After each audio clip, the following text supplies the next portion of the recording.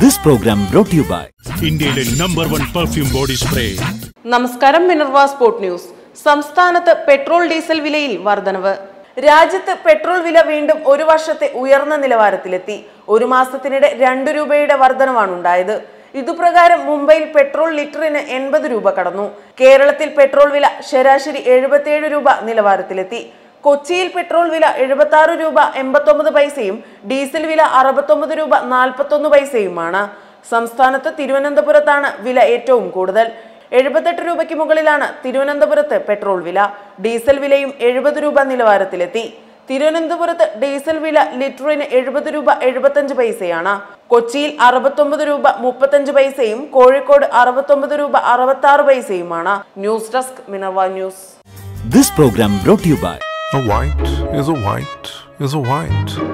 Fog scent makes even an ordinary white shirt fashionable. Fog scent. New fashion wear for men.